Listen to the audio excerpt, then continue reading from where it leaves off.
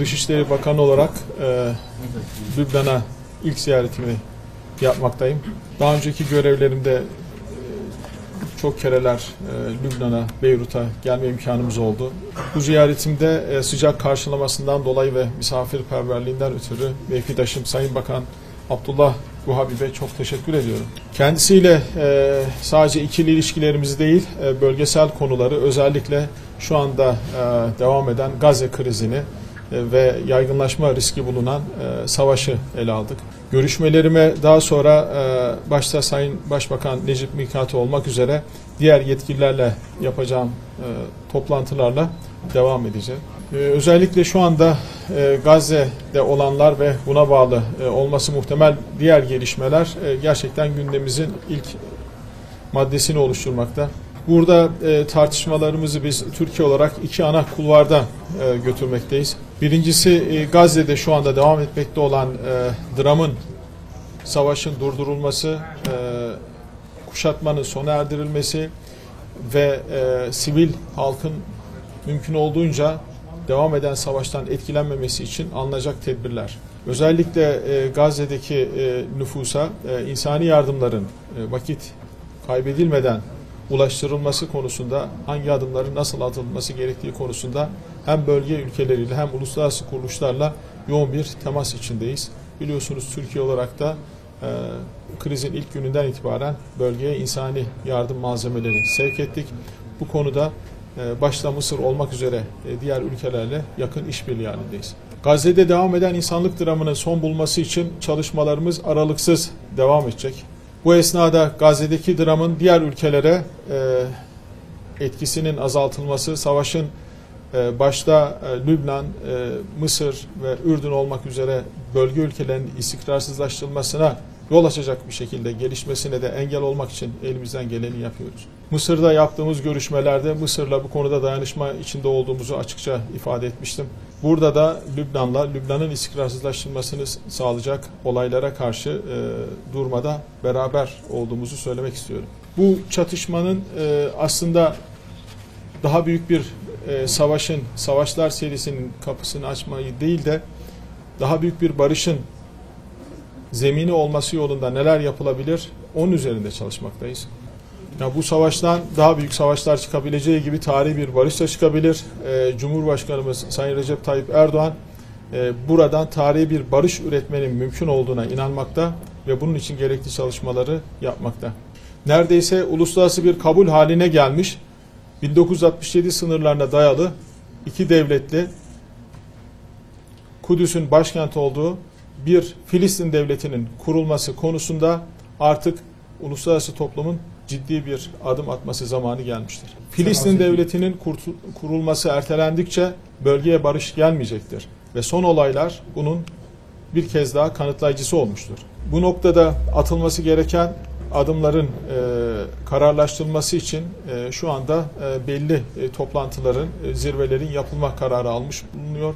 E, yarın e, Cidde'de e, İslam İşbirliği Teşkilatı Dışişleri Bakanları olağanüstü toplantısı olacak. Cumartesi günü Kahire'de e, Mısır'ın daveti üzerine liderler düzeyinde bir zirve yapılacak. Türkiye olarak biz hem ikili görüşmelerimizde hem çoklu görüşmelerde belli gerçekleri ifade etmekten geri durmuyoruz. Bunlardan birincisi bugüne kadar e, uygulanan yöntemlerin yetersizliği ve yanlışlığı. Bununla ilgili detaylı e, görüşmeleri muhataplarımızla yapmaktayız.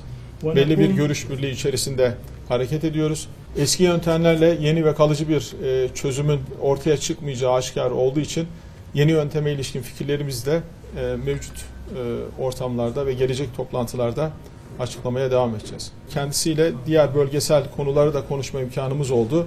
E, özellikle Suriye meselesini konuştuk. Lübnan'da 2 milyona yakın Suriyeli mülteci yaşamakta. Türkiye'de de e, 3,5 milyon civarında mülteci var. E, bu mültecilerle ilgili e, dramın çözülmesi, e, Suriye'de kalıcı bir siyasal e, çözümün bulunması için neler yapılabilir? O konuda görüş alışverişinde bulunduk. Kendileriyle girişimin başında TİKA tarafından onarımı yapılan e, Dışişleri Bakanlığı Hizmet Binası'nın e, açılışını yaptık. Eski bir TİKA çalışanı olarak TİKA çalışmalarından gurur duyduğumu ifade etmek istiyorum. Ben e, tekrar bu binanın hayırlı hizmetlere vesile olmasını diliyorum. Kendilerine misafirperverliklerinden ötürü bir kez daha teşekkür ediyorum. Biz bu konuda oldukça ciddiyiz.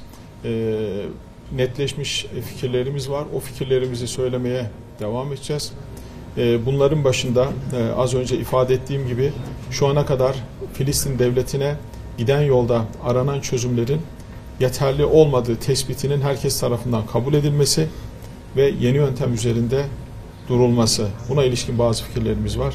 Yani uzun yıllardır hegemonik güçlerin elinde bulunan medya gücüyle oluşturdukları algıyla e, problemin gerçek tabiatını o- unutturdukları hem kendilerine hem dünyanın kendi geri kalanına büyük bir yalan söylediklerini ve bu yalanı da kurumsallaştırdıklarını görmekteyiz. Artık buna bir son verme zamanı geldi. Ya başta bu tanımlamaların değişmesi lazım. Bir- Birisinin toprağını işgal ediyorsunuz. İşgal etmekle kalmayıp evine el koyuyorsunuz, yıkıyorsunuz, dışarı atıyorsunuz, sonra bir başkasını getirip oraya koyuyorsunuz ve buna da bir te- terim buluyorsunuz, yerleşimci diyorsunuz. Ya bunun adı hırsızlıktır. Yani bunun artık bu şekilde ifade edilmesi lazım. Buna benzer yalanların artık kabul görmediği e, son olan olaylarda da ortaya çıktı. Yani e, bu yöntem ne İsraillere ne Filistinlere güvenlik ve barış getirmiyor. Artık bu yalandan yapılan haksızlıkların zulmün kılıflara sokulmasından vazgeçilmesi lazım. Mescid-i Aksa ile ilgili hassasiyetlere uluslararası toplumun çok yüksek düzeyde dikkat etmesi lazım. Yani yıllardır uyarıyoruz.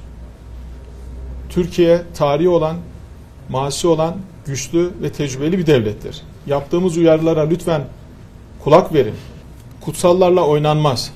Kutsallarla daha büyük krize yol açacak şekilde e, ihlal girişiminde bulunamaz.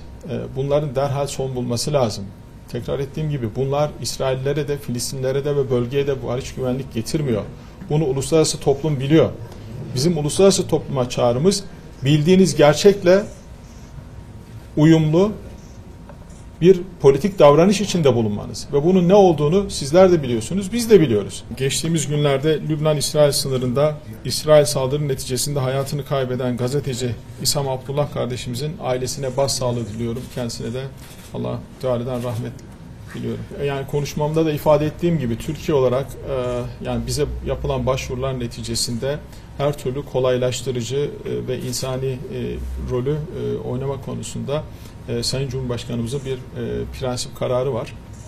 E, bütün krizlerde biz bunu ortaya koyuyoruz. Şu ana kadar çeşitli ülkelerden özellikle vatandaşlarının salı verilmesi konusunda taleplerde bulunduk, al- talepler aldık. Bunun neticesinde özellikle Hamas siyasi kanadıyla bu konuları görüşmeye başladık. Özellikle yabancıların, sivillerin ve çocukların bırakılması konusundaki e, çabalarımız devam etmekte ve e, kalıcı barışın sağlanması konusunda da çalışmalarımız devam edecek. Teşekkür ederim. Şükran. Şükran. Şükran.